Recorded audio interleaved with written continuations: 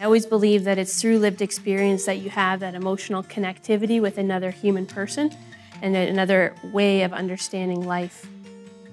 So I first met Epic about a year ago when I was at an international conference and Epic was co-hosting the event. The conference was filled with professional sport leaders from Olympic level sport, elite sport, and I just watched the tremendous respect that Epic gained and the relationships they built when I was with this community. What appeals to me about Epic is the lived experience.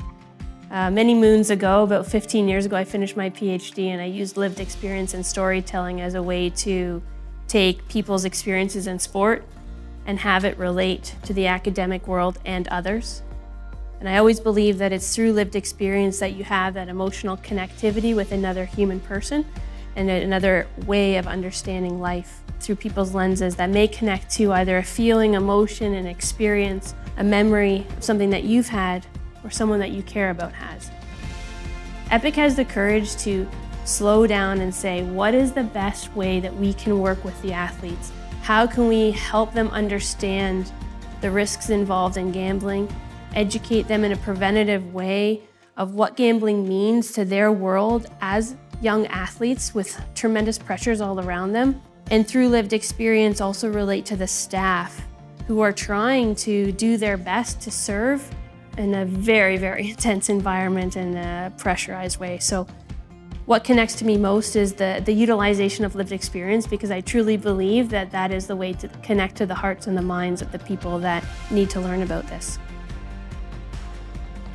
My new role is working in North America and trying to build upon the relationships that they have established within professional sporting organizations. They have a tremendous success right now within the NCAA programming. And in the last six to 12 months, they've been forming relationships with almost every pro league. Hopefully by the end of this calendar year, we'll connect with all of them. And my job is to help Epic understand what the clubs need and want, communicate that back into our facilitators, and then build out programming that meets the needs of the players and the staff of the organizations that we've now partnered with. The number one thing that is foundational is trust. Those leagues have many people and organizations coming to them lining up um, endlessly to work with the players and the athletes and the staff.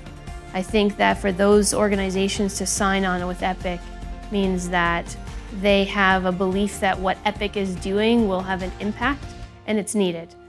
The future holds continuing to have that coactive relationship of design. And that's where I think the next level will be with the MLB starting at spring training in about a week from now, working with the MLS, working with the NFLPA, and then the other relationships that are going to come forward. I would love to see Epic being a, uh, involved in every single professional sports organization on this continent.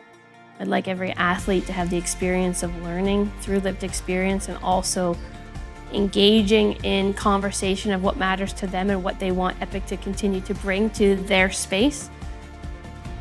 My secondary goal is, is building out the consultancy model.